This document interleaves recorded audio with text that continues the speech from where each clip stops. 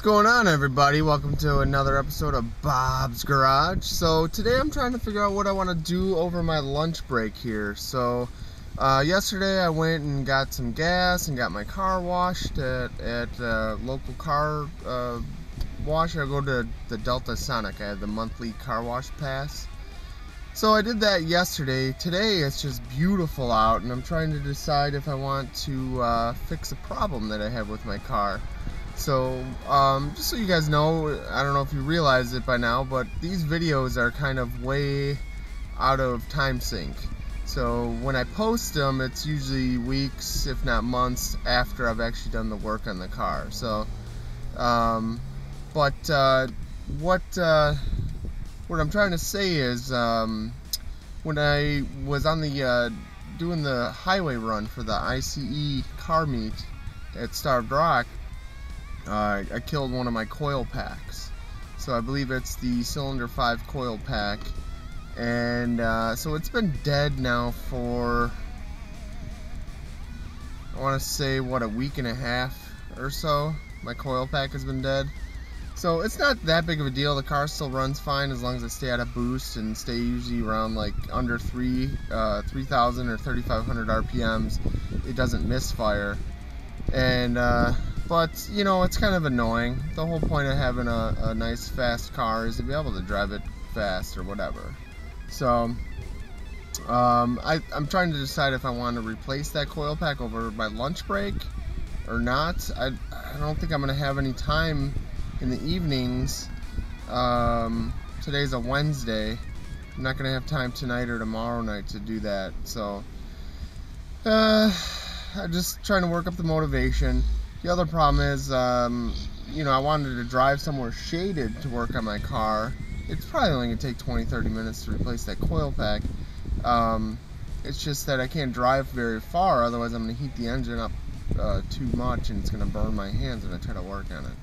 So that's kind of where I'm at now. So, plus I still need to get some food. So I'm going to go, I think I'm just going to go somewhere quick, maybe Subway, grab some lunch, and then, uh, I don't know, see if I can find a, a quiet spot to pull over and uh, swap out that coil pack. So it's the number five coil pack, which is the, uh, I want to believe it's the center coil pack on the driver's side. So before I replace number four, number five may be just as easy as number four, but I'm not sure. So maybe I'll at least take a look at it and see um, what all it's going to take or whatever. So I don't really want to tear apart my car and then not have enough time to get it back together. So that's where I'm at today. It's, uh, let me see what the temperature says here.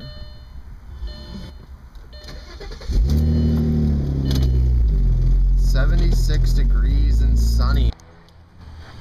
Alright, so I'm done with uh, lunch and I still have a bit of time left. So I just wanted to open this up and uh, check this out. So pulled over here at the local waterworks, so I'm not sure if this is a cool spot to work on my car or not.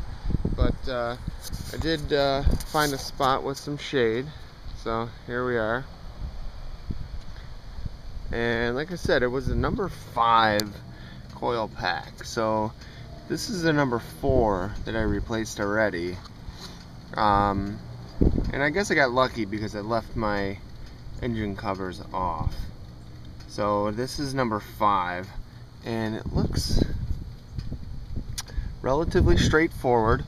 I may have to uh, unscrew my reservoir, but uh, this should be pretty straightforward. So I don't know, I got about 15 minutes or so to uh, mess with this. Uh, looks like I need to top off my G12, my coolant. And uh, power steering fluid looks okay. So, alright, let's get to uh, work.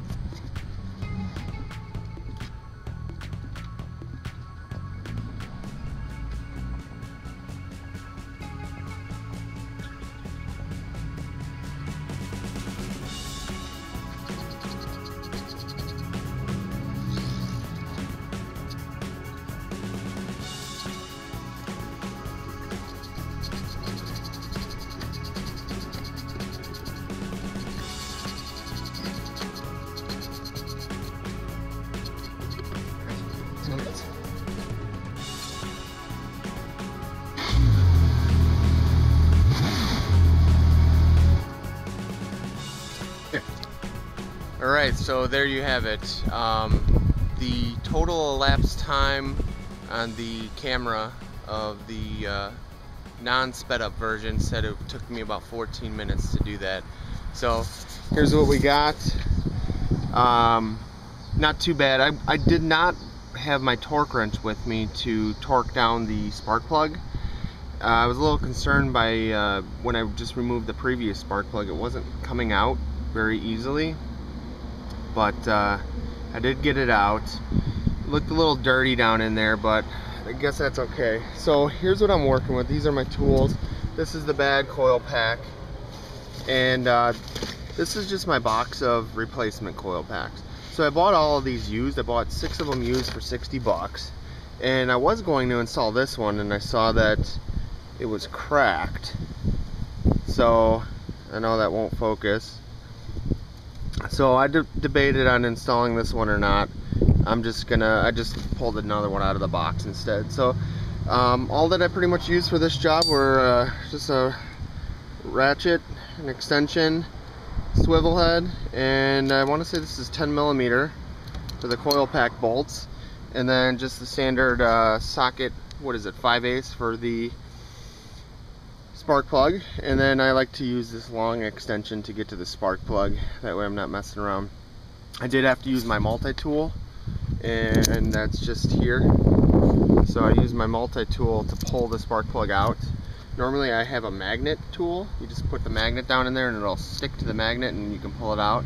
But uh, I did not have that with me. So I'm gonna go for a test drive and then head back to work so thanks again for watching Please comment, rate, subscribe, and let me know if you have any questions. This is number five coil pack.